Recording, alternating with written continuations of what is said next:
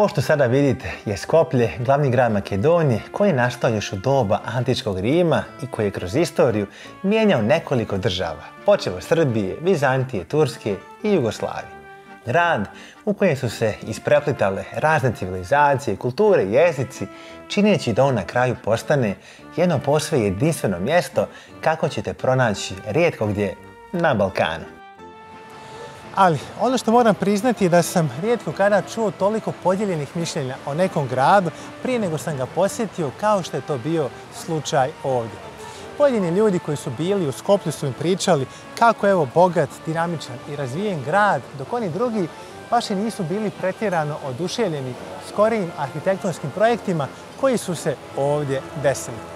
Stoga ljudi, jedan od ciljeva ovog videa bit će da vam pokažem realnu sliku ovoga grada i što on sve nudi, a vi ćete odlučiti da li vam se dopada ili ne. Jel može? Krenimo onda sa obilaskom.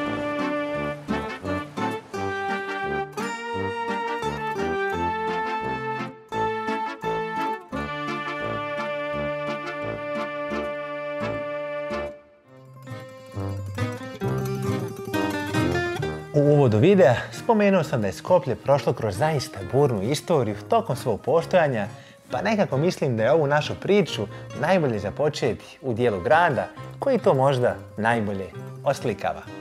Nalazimo se na staroj čarši, mjestu prepunom zanajskih hrani, restorana i barova, čije će kaldrmisane ulice poput ovih ovdje učiniti da se osjećate kao da ste se vratili stotinu godina nazad u prošlost. Pored turista, poput nas koji često dolaze ovdje, na ovom mjestu imate prilike vidjeti i veliki broj lokalaca te nekako doživjeti pravi duh i atmosferu ovoga grada. A s obzirom ljudi da je trenutno 9 časova i 15 minuta, mi još uvijek ništa nismo jeli. Predlažem da svratimo u neki od ovih restorana i isprobamo lokalnu hranu.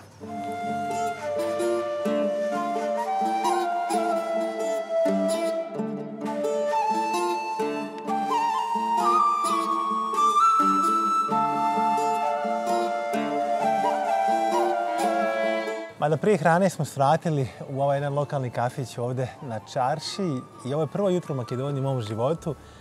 Ja mislim da sam barem deset puta prošao kroz Makedoniju do sada i nikada nisam bio ovdje i 93. zemlja koju obilazim i nekako me sramota što sam bio u Tadžikistanu i Kirgistanu i Hondurasu prije nego dođemo ovdje. Ali bez obzira na to uvijek sam mnogo želio da dođemo ovdje i svi makedonci koje znam su uvijek bili nekako baš dobri ljudi i mnogo mi je drago da sam ovdje iskreno, da nekako imam priliku da upijem duh ovog mjesta, da se družim sa ljudima, da prosto budem u Makedoniji, konačno sjevernoj Makedoniji, kako god ko kaže, jer iako se ne poznajemo ova zemlja, ja uvijek sam nekako maštao o njoj koliko god je Rio de Janeiro možda nekako bio grad koji sam sanjao kao klinac, ovo je bila zemlja o kojoj sam dugo maštao da dođem i konačno sam tu, tako da od danas i narednih sedam dana radimo tur. Ovaj video će biti u Skoplju, ali bit će još mnogo drugog sadržaja o Makedoniji generalno i sasvim sam siguran da ćemo uživati.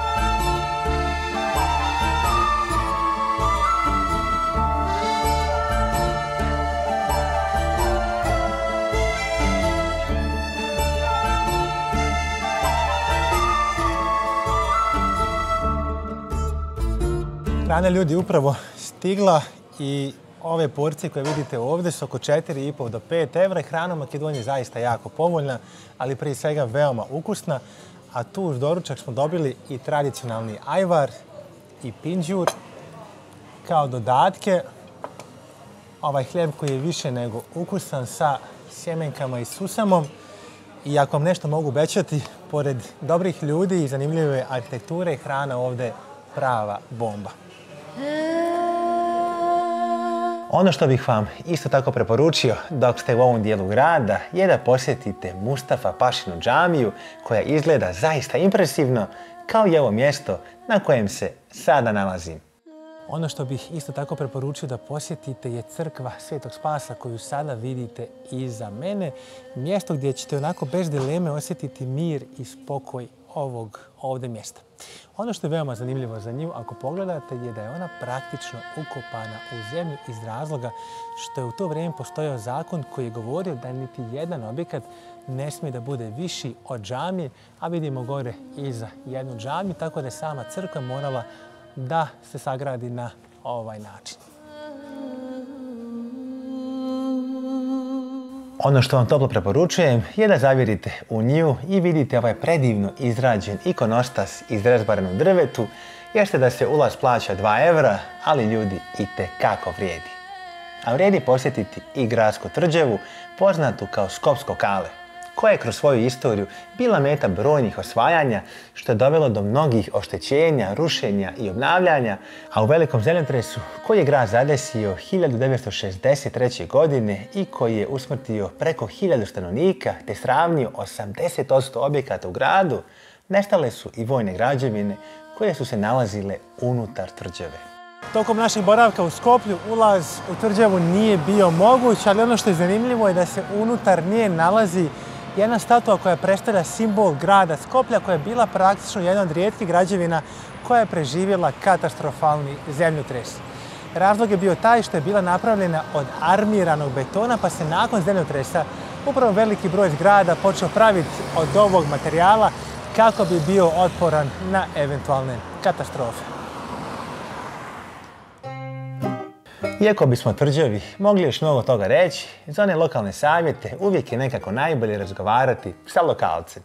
A ovdje u Skoplju sam se našao sa Spasom, koji je inače autor jedne prekrasne knjige o Makedoniji i koji će sa nama podijeliti neke lokalne savjete koje trebamo znati prije nego dođemo u ovo mjesto. Spas, prije svega hvala puno što si nas dočekao ovdje i što si naš domaćin u Skoplju za one ljude koji prvi put dolaze u ovaj grad, šta bi trebalo da znaju nekako o samom mjestu? Pa ovaj grad ima mnogo mjesta za posjetivanje. Tu je tu u centru gdje smo, smo ni. Ima vrlo dobra gastronomija, mislim, jela dosta. Skoplje je poznat po simit pogača. Simit Тој хлеб унтар хлеба. Е, тоа, да, да, да. Тоа јаш нисам пробал. Тоа треба да пробаш, да. Има и неки други работи, значи има и градот топлина. Како тука ту су луѓи врло и топли и добри, гостопримливи, што е врло добра одлика за за нас. Да, и, а, исто така може да се посете многу места Например, ту околу центар има е, Скопско кале. Аха. Има арапска куќа, што е изад нас. Аха. Таа Ристичева палата има интересна архитектура. А, друго има има стара скопска чаршија, саат куле, имамо две саат куле. Тие може да се посете, така да има што да се ради у Скопје. Мени град заиста супер, али je najveći utisak nekako sam narod koji živi ovdje. Šta je tajna u gostoprimljivosti ljudi ovdje? Zbog čega su Makedonci pa, tako dobri domaćini? Pa mi volimo svi, znači, e, koji idu znači, kao turisti, znači, svi, svi volimo. I gostoprimljivi smo, kao narod smo mnogo gostoprimljivi. Ne samo mi, znači na Balkanu, nije, to nije odlika na, na svi nas, kao vas bosanci, tako, tako nas na makedonci. A za ljudi koji nas gledaju, koji možda ne znaju mnogo o gradu, ajmo ovako, da mi daš, da, da nama daš generalno onako lokalne preporuke u vidu nekih mjesta. Najbolji, na primjer, restoran po tebi u gradu ili dva, tri dobra restorana? pa, od dobri možem da, evo, ako pričamo za nacionalna e, kuhinja, mogu da prepo, preporučam e, e, makedonska kuća. Има буре, старо буре, има дојрана. Тоа су така по мене, значи добри ресторани, што би ја би ги посетил и би ги препоручил на други луѓе што. Има исто тако джеву у Чаршију, та, могу и таму, стари да. Дел. Да, стари дел, могу, могу и таму да да једу нешто традиционално како тавче, гравче има, неки нуди, сармо, такви работи. Супер. А јело кое бисмо морали пробати или два три јела која апсолутно се мора и пробати? Ако си у Скопје, тоа е симит Погача. Okay. Значи, таа не се не се прави на никој друго место, осим Скопје, значи. Или ако наджеш на да се прави у Штип, у Велес, значи, или е мајстор у Скопје, или е у занат Скопје. А, други а, пастрамалија, такоѓе, значи таа ни е бренд, тоа е, а, тоа е из Штип, а, исто тако шопска салата, а, мусака, комприманџа, значи тие су наши е, деликатеси, но не сви може да најдеш у ресторанот, е, бидејќи за за нека, не, нека јела мора да се кувае, значи граф е, комприманџа се кувае малце подуже и затоа ги нема. Да. Da li postoji neko mjesto koje bi preporučio kao dnevni izlet iz Skoplja? Да, тоа има, кај што ја идем е, стално, тоа е е, излетничко место Крст Кучково. Тоа е на околу 10 е, километар од, од центар на града. И тако интересно место, од, од таму може да се види голем дел од, од Скопје. А, место е пошумено, доста, значи мислим да нека армија пред шест- 60 година го има пошумава, пошумено и таму има такоđe близу су на саат, саат и пол водопади, Кучковски водопади, тоа е интересно. И има костоп, э, карпа, девојачки камен, и за не има легенди, исто три легенди. Тоа е интересна како појава. Значи, карпа од самата природа. Okay. Од самата природа. И задње питање прije него одемо негде на неку кафу, дали постои нека легенда о самом граду или дали постои нека локална прича коju можда ми као пурници не знамо? Па ево за за Скопје ќе кажем е, легенда, тоа е да у у прошлости Aha. е, када сум е, хтели да нападну е, Кале Dobro. и од оздоло е, луѓе се викали Скопје. Тоа е значи со со Kopljen. Е, коплем, да. И док, док су напали Кале, пошто тоа е било тврđава, само таа е била и не можела да се освои тако лесно. И викали су Скопје да да гаѓају. Куле Скопје, Скопје и така кроз времена настало настало Скопје, имено градот. Ti na priči i na Hvala. druženju. Hoćemo sad na piće neko. Мило da- ми е што си дошao у Скопје. Još mi je više milo da sam tu i da te upoznam i da prosto doživim svu tu neku finu emociju koju sam očekivao da ću doživjeti u ovoj zemlji. Zaista je lijepo imati lokalne prijatelje od kojih uvijek možeš da naučiš nešto novo o gradu, jer to je upravo ono što daje čar samim putovanjima. A mi naše putovanje s Kopljem nastavljamo posjeti Sabornoj crkvi Klimenta Ohridskog, koju sada vidite, najvećoj pravoslavnoj crkvi na teritoriji Makedonije, ukrašenoj ovim prelijepim freskama. A pored istorijskih atrakcija grada, ono što mi je bilo zanimljivo su i ovi double decker busevi nalik na one u Londonu koji ovdje služe kao gradski prevoz, ali i sljedeće stvari. Ono što me na neki način iznenadilo Skoplju je to da ovdje postoji i srednja škola Josipa Broza Tita koju sada vidite iza mene, kao i statua Josipa Broza koja se nalazi ovdje, izgrađena 2013. godine, što možda najbolje pokazuje koliko Makedonci i dalje vole i poštuju našu staru zemlju. Ovdje na ploštadu ćete vidjeti veliki broj statua lavova koje se nalaze praktično svuda oko mene, a ako se pitate otkud toliki lavovi uopšte u Makedoniji, razlog je taj što se lav nalazio na prvom ikada grbu ove zemlje. Šta je bilo? Ništa. Šta je? Jel nemamo denara? Imamo, evo vidi. A, sad je donio momak. Pogledaj kako su gledani baš ovaj, plastificirani. Wow. Da, one što se ne mogu poderati. Znaš prvi put u životu držim makedonski denar. Da, Wow. baš su neobični. Lijepa valuta. Da, Kao i lijepa zemlja. tako. Makedonska zastava je meni jedna od najljepših zastava. Ona simbolizuje sunce sa osam krakova koje predstavlja u stvari slobodu makedonskog naroda koje je i opjevano u njihovoj himni danas nad Makedonijom. Nakon ove lokacije obilazimo još par mjesta A tamo kad smo krenuli prema glavnom trgu, desilo se nešto što baš i nismo očekivali. Šta se dešava? Požar. Evo, šetali smo tu i vidjeli smo ljudi se skupljaju, gledaju šta se dešava. Prijavljeno je vatrogascima, tako da vidjet ćemo šta će se desiti.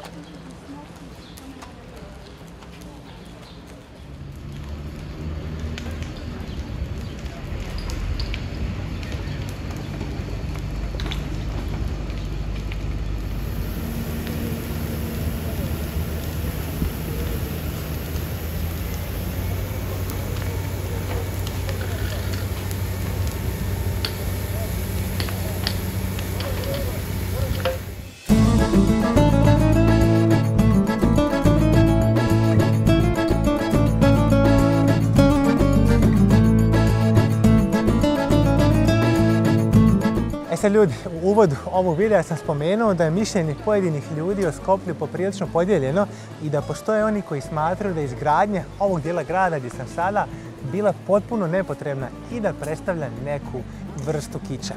Naime, sve ovo je bio dio projekta Skopje 2014 kojim je grad trebao da dobije nekako klasični izgled, a da li je zaista tako, prosudite vi sami. Ako se sa nekim nalazite u Skoplju, postoji velika vjerovatnoća da ćete se naći na ploštadu. Ovo je glavni trg i mjesto svih zbivanja u gradu, često prepun ljudi, te predstavlja glavnu raskrsnicu grada koja vodi ka Staroj čarši, gradskom trgovinskom centru, gradskom parku, šetalištu uz Vardar i brojnim drugim atrakcijama. U samom centru trga se nalazi spomenik sa osvjetljenom grandioznom fontanom, a tu je veliki broj novih zgrada u kojima su se smjestile neke od važnih institucija zemlje, kao što su pozorište, muzeji, gradska uprava i mnogi drugi. A ono što isto tako predstavlja jedan od simbola ovog dijela grada je Dušanov ili kameni most kojeg sada vidite iza mene.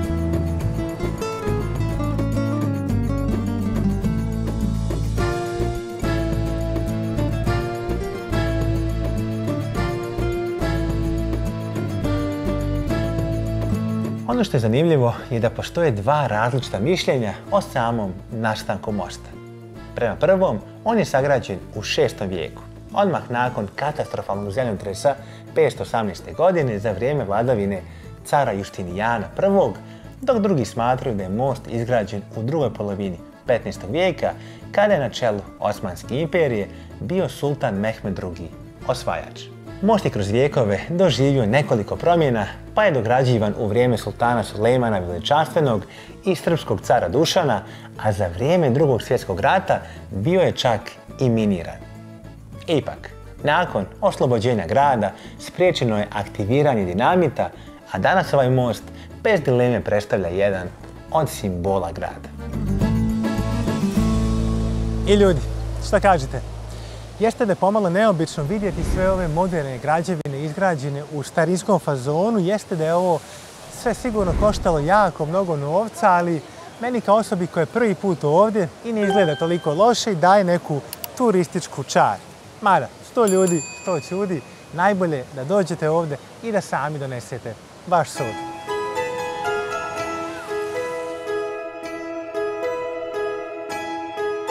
A kada već govorimo o stvarima zbog kojih trebate doći da biste ih razumjeli, rekao bih da ovo važi i za naredno mjesto na koje sada idemo.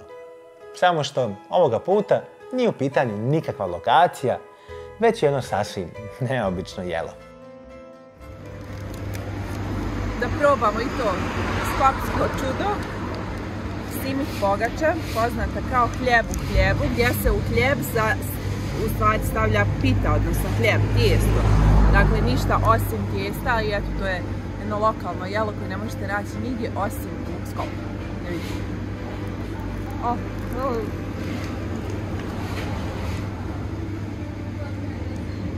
Vrlo tjestasto, kao što smo i očekivali. Ali dobro. Mislim, fino je probat nešto stvarno lokalno, ono da ne možete nigdje drugo u Makedoniji naći osim u Skopju. Dok ste u Skoplju, postoje još dvije lokacije koje vam preporučujem da posjetite. Jedna je milenijumski krst smješten na planini Vodno, koji sa svojih 66 metara visine predstavlja najveći krst ove vrste na svijetu i jednu od najviših građevina u čitavoj zemlji. Godine 2011. sagrađena je žičara koja je omogućila putnicima da se za oko 1,5 evra popnu i vrate sa ovog vrha te usput uživaju u ovim prelijepim pogledima. A ova druga je muzej Majke Tereze posvećen ovoj svetici i dobitnici Nobelove nagrade za mir. Majka Tereza je inače rođena u Skoplju, nedaleko od ovog muzeja, a u ovom gradu je provela prvih 18 godina svog života, nakon čega se odselila prvo u Irsku, a potom u Indiju, u kojoj je živjela sve do svoje smrti. Ovo je spomen kuća Majke Tereze i ovdje gdje se nalazi spomen kuća nalazila se ranije stara katolička crkva, Presveto srce Isusovo, gdje je Majka Tereza, tada Gonđa Bojađiju, bila krštana i cijelo svoje detinstvo i mladost je provela na ovu lokaciju. Ehm, ovdje je živjela 18 godina i e, puno vremena je provodila ovdje na ovo mjesto. Tu imamo maketa njene rodne kuće koja se nalazila na gradski trg i stradala tokom zemljotresa 63. godine, tako da ovaj, kuća također e, nije sačuvana jer je stradala kao 80% deo grada. E, međutim, mjesto je obeleženo sa jednom mermernom pločom, pa kad budete išli u tom pravcu vidjet ćete mjesto rađenja majke Tereze. Rođena koja je najmlađa od troje dece i zvala se Gonđa Agnes Bojađiju. Imala je starijeg brata i stariju sestru i ovo su bili njeni roditelji Nikola i Drana Bojađiju. Potiče od dobro situirane albansko-rimokatoličke porodice i ovdje je živjela 18 godina. Sveta Tereza iz Lisije je bila njena inspiracija, tako da ime Tereza je uzela baš po nju i od Gonča Bojađiju postaje sestra Marija Teresa. U Kalkuti u početku radića kao nastavnica geografije i veronauke i u Loretanskog manastira smešten u Kalkuti. Predavat će znači, geografiju i veronauku, međutim, sirotinja koja okružava van zidina tog manastira gdje ona zapravo i predavala, odlučit će da napušti Loretanski red sestara i da osnova svoj vlastiti red koji će pomagati direktno na ulicama, kako ih je ona zvala, najsiromašnijih od siromašnijih. Sa posebnim dekretom od Papa Pije XII. 1950. godinu oficijalno otvara svoj red kongregacija misionarke sestre milosrđa i ovo je bila njihova uniforma, ovaj sari, beli sari sa ovim sinim trakicama. U početku su bili 12 samo 12 sestara, a danas njihov red broji više od 5000 sestara i više od 600 braća u 146 zemlje u svetu koji produžavaju humanitarni rad majke Tereze. Njihova prva misija je bila otvaranje, kako ih je ona zvala, kući umirućih, znači hospicija za smrtno bolesne ljude gdje ljudi koji su bukvalno umirali po ulicama sad su mogli svoju smrt dočekati malo dostojnstvenije. E, zatim domove za djece bez roditelja, hospicija za bolesne od lepre, od side i tako dalje. I za njen humanitarni rad bit će nagrađena sa više od 700 nagrada. Jedna od najprestižnijih je Nobelova nagrada za mir koju dobija 1979. godinu. Vratit će se u svoj rodni grad Skoplja četiri puta, bit će proglašena za počasni građanin grada Skoplja i formirat će svoju misiju ovdje također. u trenutku imamo četiri sestare iz njenog reda koje se brinu o djeca bez roditelja i samohrane majke. Sa 87 godina umire u Kalkuti, tamo je sahranjena, indijska vlada joj je dodijelila državnu sahranu sa svim počastima 2003. godine Papa Jovan Pavle II. proglašava za blaženu, što je jedan korak ispred da bude proglašena za sveticom u taj proces kanonizacije i 2016. godine Papa Francisk završava proces njene kanonizacije i oficijalno proglašava Majku Terezu za sveticu. Inače, danas u njenom muzeju možete vidjeti njene lične predmete i fotografije te saznati više o jednoj od najznačajnijih osoba koje je ova zemlja u posljednjih 100 godina imala.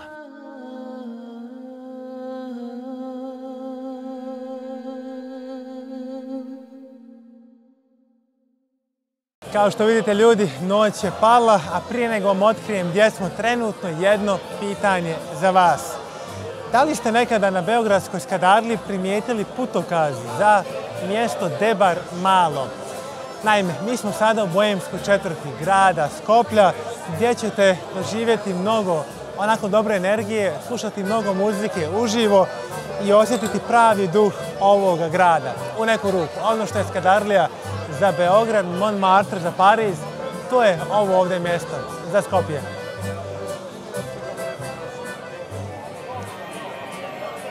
Ovdje vidimo jedan tipičan primjer makedonskog penzionera koji je nostalgičan za svojim mladim danima i ne može da se pomiri sa činjenicom da više nema snage za izlaske, tako da evo ga, zaspao u noćnom probodu.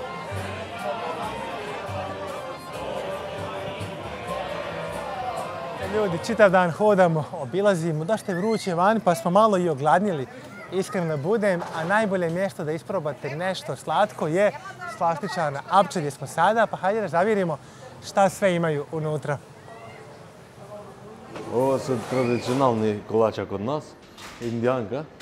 Ovo ovo je rum pasta, čokoladna indijanka, e, kokos indijanka ima, šam pasta nešto, podobranec, baklava, to se zna, i boza, to je, da, da.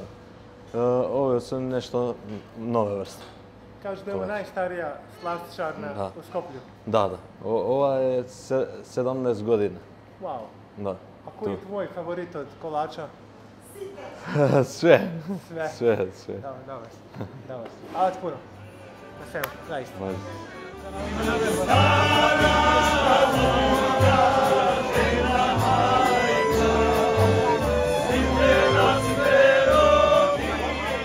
Sad ljudi, prije nego završimo ovu našu priču, hoću da vas odvedem na jedan izlet. Naime, na samo pola sata od grada nalazi se kanjon Matka, mjesto koje je 1994. godine proglašeno spomenikom prirode, gdje imate prilike vidjeti čak 77 vrsta leptira, ali i doživjeti jednu zaista zanimljivu vožnju brodom na koju upravo idemo.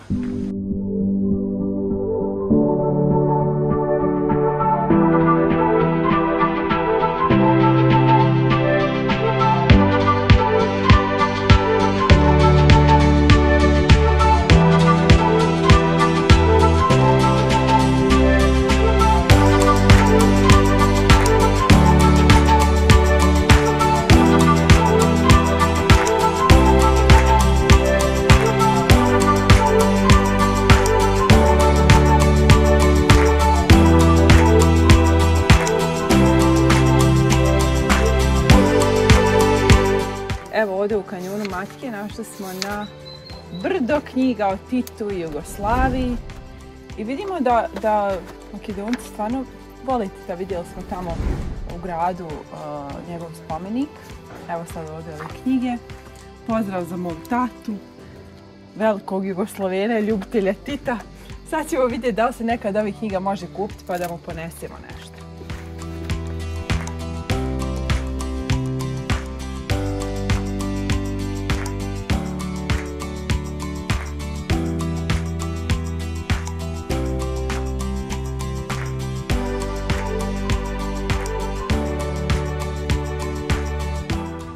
Piše Robert. Robert. Dacešin. Eto ga, to je taj. Ja sam Banja Luke. Biće taj. Biće brzo video. Može vrti. Čujemo se, hvala ti puno. Ćao. Ćao momci.